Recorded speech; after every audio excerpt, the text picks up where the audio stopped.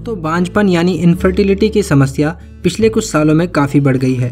बेंगलोर स्थित medical company Inito के सर्वे के अनुसार, भारत में लगभग दो करोड़ पिचहत्तर लाख कपल्स बांझपन का शिकार हैं। यानी हर दस में से एक कपल शादी के बाद बच्चा पैदा करने में सक्षम नहीं है।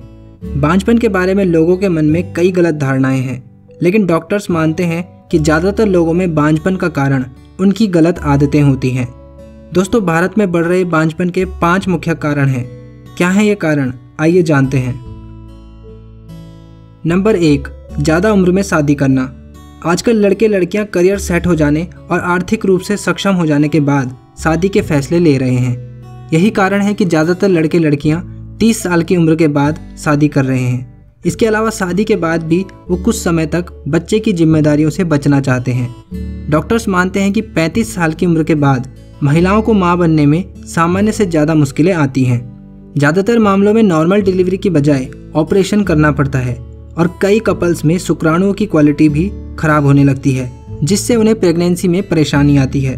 उम्र बढ़ने के कारण हाइपरटेंशन जैसी दूसरी समस्याएँ भी आ जाती हैं और इनके कारण फर्टिलिटी प्रभावित होती है। नंबर दो, गलत आदतें। आजकल कम उम्र में सिगरेट, शराब, गुटखा और कई बार ड्रग्स की लत भी लड़के लड़कियों में काफ़ी बढ़ गई है। इन आदतों के कारण भी वीर्य की गुणवत्ता खराब होती है और स्पर्म काउंट कम होता है यह होने वाले बच्चे में आनुवंशिक तौर पर भी बदलाव कर सकता है। इसी प्रकार से अल्कोहल भी टेस्टोस्टेरॉन के उत्पादन को कम करता है। स्टोराइड जैसे हार्मोन हमारे शरीर के नेचुरल हार्मोन के स्तर में बदलाव लाते हैं, जो हमारे स्वास्थ्य को प्रभावित कर सकते हैं।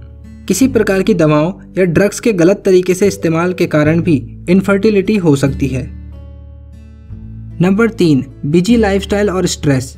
आजकल लगभग हर सेक्टर में काम और सफलता का दबाव पहले से ज़्यादा बढ़ गया है।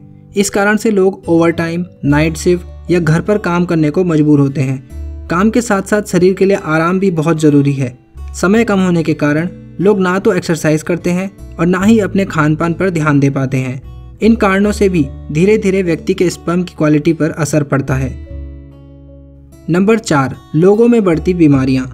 हाई ब्लड प्रेशर, डायबिटीज़, मोटापा जैसी समस्या आजकल युवाओं में आम हो गई है। इनका प्रभाव व्यक्ति की सेक्सुअल लाइफ पर भी पड़ता है। डायबिटीज़ पीसीओडी यानी पॉलिसिस्टिक ओवरियन डिसीज के कारण महिलाओं में बहुत सी बीमारियाँ आम हो गई है। 60 से 70 प्रतिशत महिलाओं में ओवुलेशन की क्रिया ही नहीं होती। वज़न का बढ़ना और व्यायाम की कमी के कारण भी सही मात्रा में हॉर्मोन्स नहीं बन पाते। और ये कारण भी कहीं ना कहीं इनफर्टिलिटी के लिए जिम्मेदार होते हैं।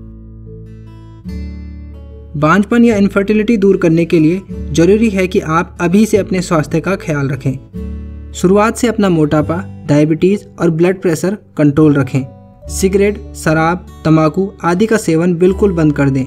खान पान में पौष्टिक आहार शामिल करें और रोज़ाना थोड़ी एक्सरसाइज भी ज़रूर करें।